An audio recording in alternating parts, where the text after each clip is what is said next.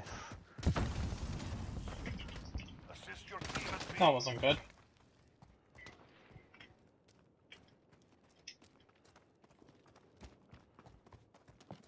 We've lost Bravo.